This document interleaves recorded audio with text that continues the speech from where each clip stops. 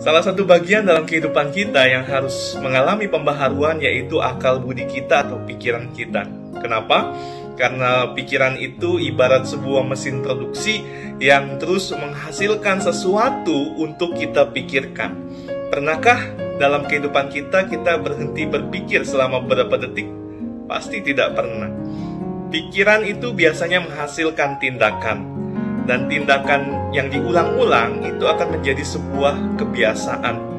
Dan kebiasaan itu jika kita terus biarkan akan menjadi sebuah karakter dalam kehidupan kita. Nah, bayangkan jika yang kita pikirkan adalah hal-hal yang negatif, yang jelek, yang tidak baik. Apa yang akan terjadi dengan kehidupan kita? Nah, oleh sebab itu, kita harus mengalami pembaharuan pikiran seperti yang dikatakan oleh firman Tuhan. Bagaimana caranya? Yaitu kita terus menyelaraskan pola pikir kita dengan nilai-nilai firman Tuhan.